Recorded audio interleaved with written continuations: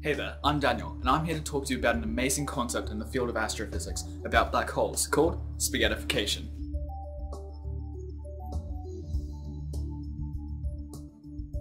So right now you're probably wondering how this delicious pasta has anything to do with black holes. So to help bake that link, you get it because you bake with pasta. anyone? Anyone? no, I'm just kidding. But as I was saying, to help make that link, I'll first explain what a black hole really is. A black hole is a region of space that has a massive amount of mass concentrated into a tiny area. These astronomical phenomena don't randomly appear.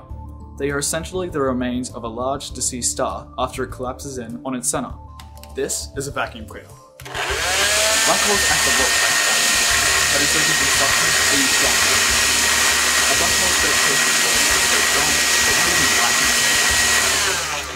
So if you happen to be an unlucky astronaut one day who happens to glide past a black hole, it'll be a fairly sucky situation for you. You get it? Because black holes suck things in, like vacuum cleaners. Come on, that one was good! Ah. Falling into black holes is exactly what spaghettification is about. As you approach the event horizon of a black hole, which is the point of no return, even for light, what happens is the gravity at your feet becomes rapidly greater than the gravity at your head.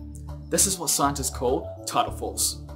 This tidal force is also relevant on Earth, but because the radius of the Earth is roughly 6,000 kilometers, 1 to 2 meters in height doesn't really make much difference. But if we compare this to the small and compact nature of a black hole, 1 to 2 meters in height really does matter, because 1 to 2 meters is a significant distance in the terms of a black hole. So as you fall into the black hole, the lower part of your body begins to fall faster than the top half. This is a sort of situation that you wouldn't want to be in. Initially, these tidal forces begin to feel like a stretch, kind of like gravitational yoga.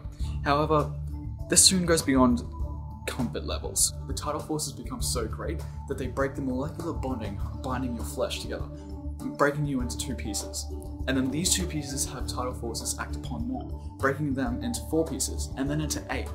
So you're bifurcating your way down into the black hole, and ultimately turning into a spaghetti string of atoms. it has also been discovered that while you're getting stretched by the black hole, you're also getting squeezed by its forces. This is because the volume that you took up outside of the black hole is much, much smaller as you get closer to its center. Come to think of it, doesn't this whole process sound like toothpaste through a tube? Doesn't it? The analogies of a spaghetti string of atoms and toothpaste through a tube really sum up what spaghettification is about. And right now, it probably sounds like spaghettification and black holes are pretty frightening. But you don't need to worry about it because it's currently the closest black hole to Earth is 1600 light years away, which is a pretty big distance. I'm Daniel, see you later.